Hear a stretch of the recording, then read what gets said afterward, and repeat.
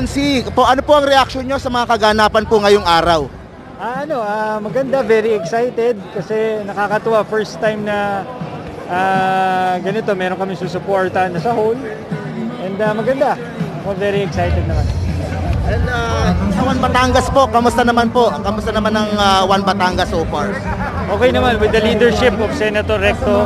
ah Siyempre, lahat kami ay ah, nakasuporta.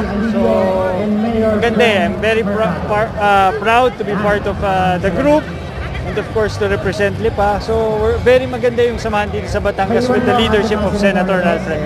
So kayo po, you are running again for election po. Yes po, for ah, City Councilor ulit sa Lipa.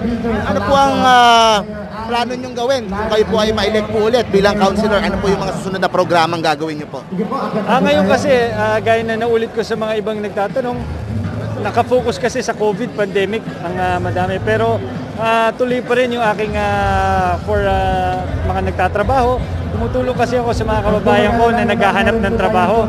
So tuloy-tuloy pa rin yun. And yung vision namin na to make Lipa parang ah, magkaroon kami ng ah, a new city kasi ah, progressing ang Lipa eh. So, pero ngayon, naka, masyadong masikip na sa bayan. So, ang gusto namin ma-expand para dumami. Bring in uh, new uh, investors, companies. We have so many major schools. Ang daming gumagraduate, nagtatapos, pupunta na Manila para maghanap ng trabaho. Why not bring the opportunities here sa Lipa? Any final words po para po sa mga kababayan nyo sa Lipa? Ah, Siyempre, patuloy pa rin na mag-iingat sa COVID-19. At ah, lagi ko sinasabi, pag umiikot ako, ah, kami, lumalaban kami para sa, dumami ang bakuna sa lipa. So, yun, dun sa mga nag-iisip pa kung magpapabakuna, ah, nandyan na po ang pagkakataon. Additional protection ito, hindi lang sa atin, pero sa family rin natin. Kaya yun lang po. Oh. So ayun guys, napanood nyo po. Ah, katatapos lang po ng event. Ah, sila po ay magla-lunch na. Ako po pabalik na ako sa sakyan. Successful po yung pong convention na naganap po dito po. Ah, IM Pilipinas at ah, One Batangas. So nagkasama po. Nagkaisa at narinig nyo naman po yung sinabing pangako ni Senator Ralph Recto kay Mayor Isko na isang milyong boto galing po dito sa Batangas. And solid po tayo dito kay Isko. So simula pa lang po ito.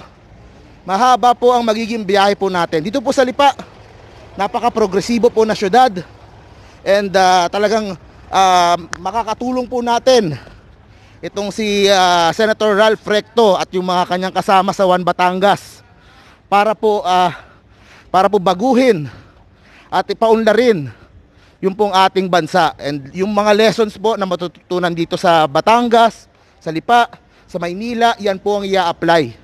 At kasama po natin, kaisa po natin, sila ang pamilya ni Senator Ralph Recto, si Congresswoman Vilma, and ah, yung kanilang buong team po. So ako po ay masaya kasi po ah, um, ito po ay ah, magandang simula. Sabi nga ni Mayor Isko, dito nagsimula ang kanyang journey sa buong bansa. And inaasahan po natin na it's going to be a tough, mahirap, and ah, talagang maraming ups and downs. Pero ang importante po ay maikalat po natin yung mensahe ni Isko Moreno. So maraming salamat po. Yung napanood nyo po, interview ko kay Konsihal ah, Mikey. And talagang ako po ay natutuwa dito sa nangyari po dito sa Batangas. So yun guys, ah, papunta ako sa next venue. I'm not sure kung makakapag-vlog pa ako doon. Pero from Lipa, Batangas, see you po sa next video po natin. Stay safe po parate, Pilipinas, God first. Bye-bye guys. Parang isang panaginip sa sandaling pag-idlip. Lumuwag, luminaw ang kaling masikip. Kalat at dumi, niligpit at nilinis. Sa dalawang araw inalis ang bahid at dungis. Trahedya ng pandemya, gutom ang dala. Labing limang araw inahon sa ayudang kahon-kahon. Bagong ospital, mabilis tinayo para impeksyon ay mapatid. Bakuna, milyon na ang nabigyan. Walang tigil, walang tulugan.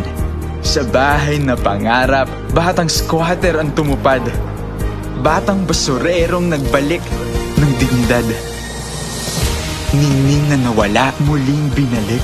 Ang araw sa dagat muling humalik. Matuli ng pagsikat, maliksi ang pag-usad. Ito na ang Maynila. mahal nating syudad. Maynila, bilis kilos.